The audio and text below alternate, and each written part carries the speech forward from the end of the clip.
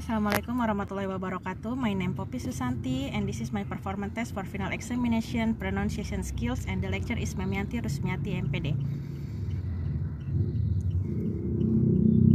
Number one, please give me some more rice and some more ice for my son. Number two, he's got to do away his clothes. He's got to clear away the empty plates and cups. Number three, it might rain, so I've to get the train quickly. Number four, all members accept the ball winter on this weekend except me. Number five, some more effects of global warming such as climate change, increasing heat, declining water supplies, reduced agriculture, and so many more. So the effect of global warming is very dangerous. Number six, the sun is so hot today, but my son still enjoys playing football with his friends.